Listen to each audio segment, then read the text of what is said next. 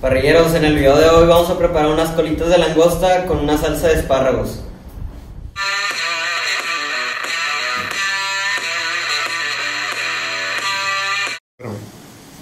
Quiero agradecer a mis amigos de Corte Real que me mandaban esta langosta de excelente calidad. Y lo mejor es que todo esto me lo mandaban hasta la puerta de mi casa. Te evitas de tráfico, de filas y todo te llega a tu casa con una excelente calidad.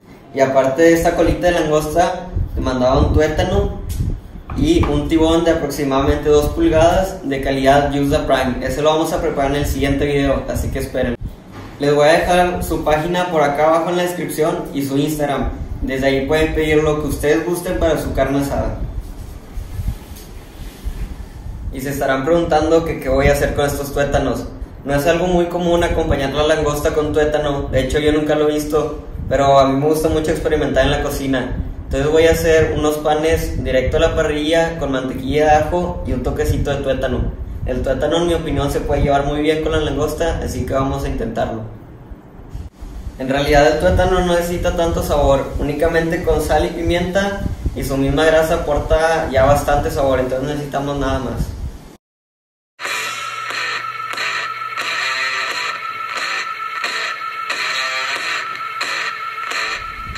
Voy a poner los tuétanos a la parrilla a fuego indirecto. Ahí se van a estar cocinando poco a poco por unos 15 a 20 minutos, mientras tenemos listo lo demás.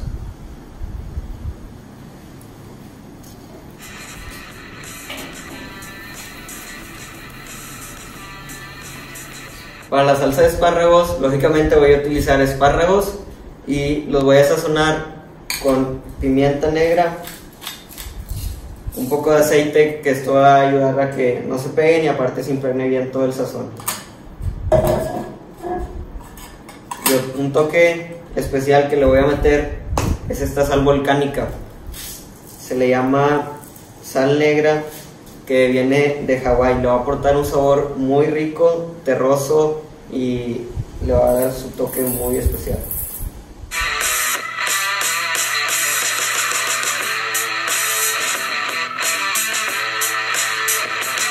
Ya que los tuétanos pasaban a fuego directo, el espárrago va a pasar a fuego indirecto por unos 15 a 10 minutos. Los espárragos los voy a dar un toque especial tatemándolos junto con el ajo y después van a pasar directo a la procesadora con un poco de aceite.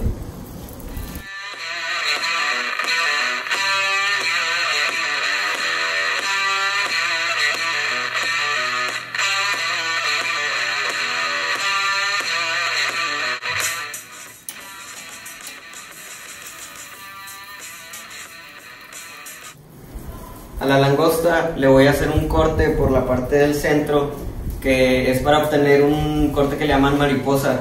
Esto nos va a ayudar a que la carcasa esté por abajo y la carne por arriba sobresaliendo. Para hacer esto estoy utilizando estas tijeras. Puede ser también con cuchillo, pero de preferencia con las tijeras de cocina. Se batalla, la carcasa es muy dura, pero hay que insistirle.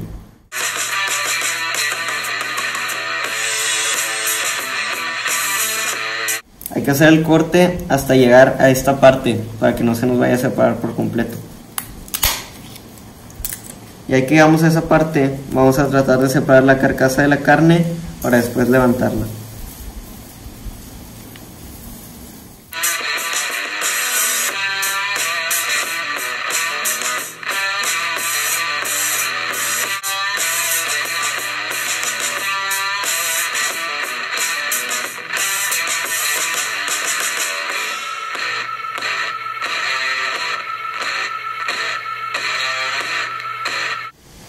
Ya que tenemos el corte mariposa en la langosta, que esto va a resaltar muchísimo la carne, la voy a sazonar con esta sal negra.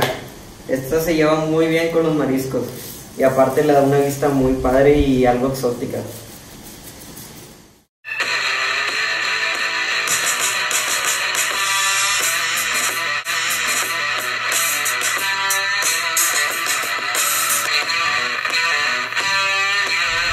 Voy a poner la langosta a fuego directo unos 5 a 10 minutos, pero tapado. Vamos a tapar el Weber a que se cosa bien y al final le vamos a dar una doradita directo a la carne desde a la parrilla.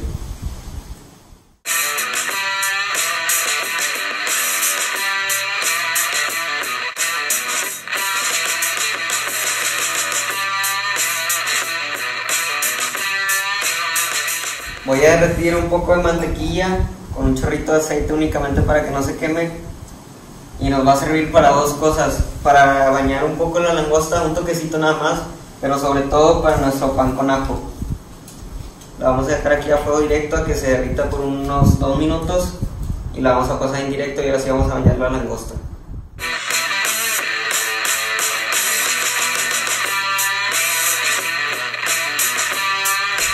Quiero conseguir de sabor principal para la langosta la salsa de espárragos, pero sabemos que la mantequilla se lleva perfecto con la langosta, así que le voy a dar una ligera pasadita.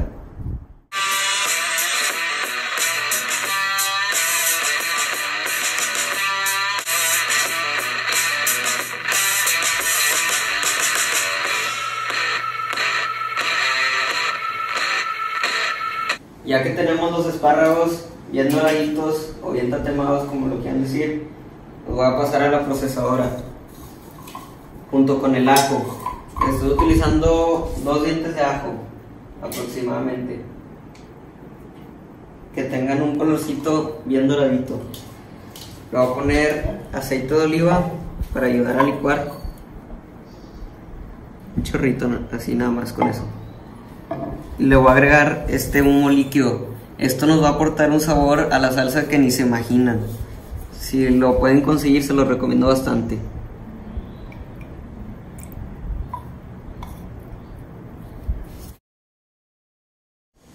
Otro de los ingredientes que le va a dar un toque muy especial a esta salsa es este chile del monte.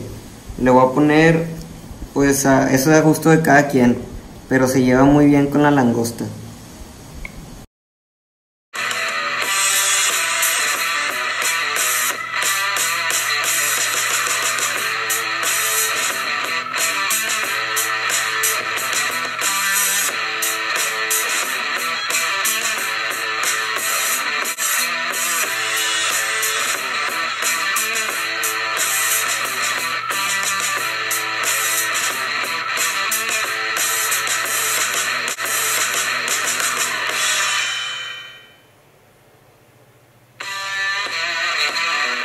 En cuanto al pan, estoy utilizando uno, un bolillo local de la panadería.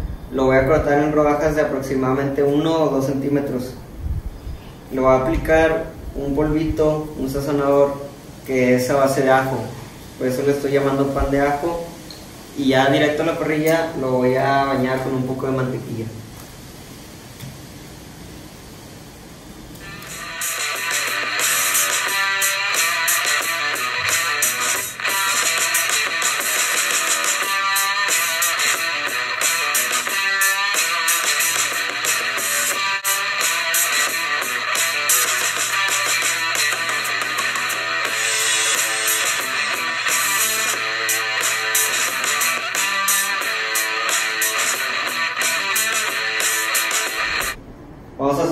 Sí ya tenemos todo listo, por fin vamos a pasar a comer. La idea del tuétano es ponérselo junto a los panes y un pedacito de langosta por encima.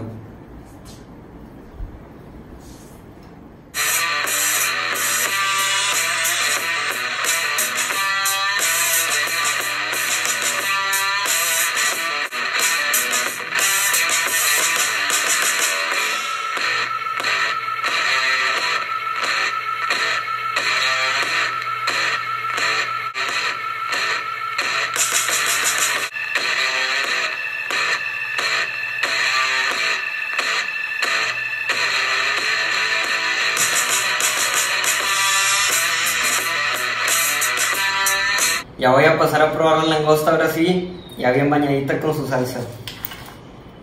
Vamos a ver qué tal salió.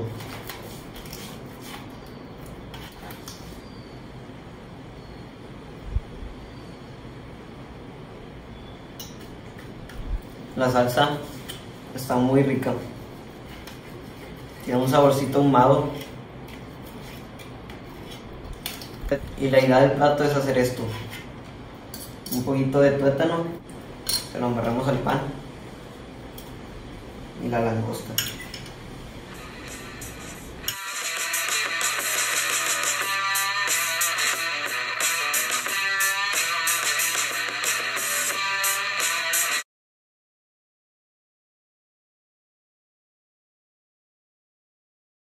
La verdad es que con la combinación del tuétano, el pan con ajo y la langosta está perfecto, se llevan increíble.